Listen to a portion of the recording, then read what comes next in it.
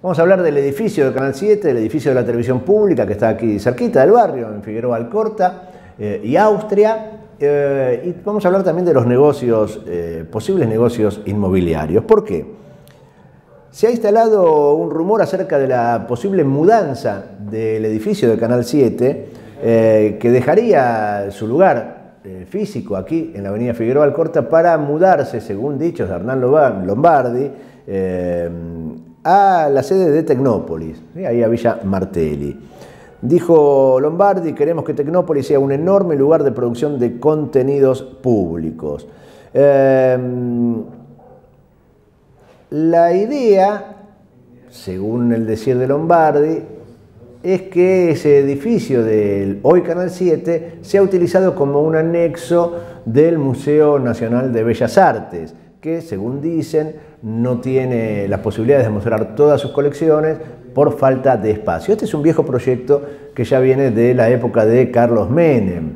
Eh, Mauricio Macri viene con la intención de levantar esa, esa propuesta de utilizar las instalaciones del edificio del Canal 7 para poner ahí el Museo de eh, Bellas Artes, eh, ampliándolo como subsede. Sin embargo, sin embargo, desde el Observatorio por el Derecho a la Ciudad, eh, anuncian que la intención real, la intención real solapada, escondida, de esta decisión tiene que ver con entregar una parte de esos terrenos que hoy ocupa Canal 7 a los desarrolladores inmobiliarios. El negocio en esa zona es jugosísimo. Calcule usted que eh, esas tierras valen aproximadamente 45 millones de dólares. 45 millones de dólares. Eh, la sospecha está también entonces en tono con la decisión de, los gobiernos, tanto de la ciudad como de nación, de rematar los inmuebles ociosos que consideren innecesarios.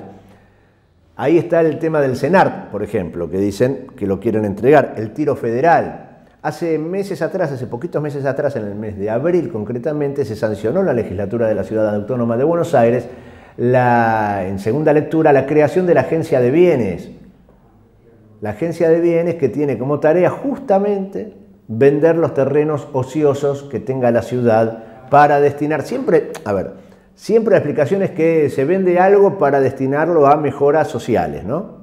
Para escuelas que nunca están, para hospitales que cada vez atienden peor y tienen peores elementos, para sueldos que son cada vez más bajos en la administración pública. Después todo eso no sucede, pero lo que sí sucede es que se venden los terrenos, se vende el patrimonio del Estado y nosotros los habitantes de esta ciudad nos encontramos con una ciudad que es cada día más cara, y que tiene cada vez menos posibilidades de espacios verdes y de espacios de recreación para eh, quienes necesitamos mm, acceder a ellos de manera gratuita. Tenemos el derecho de acceder a ellos.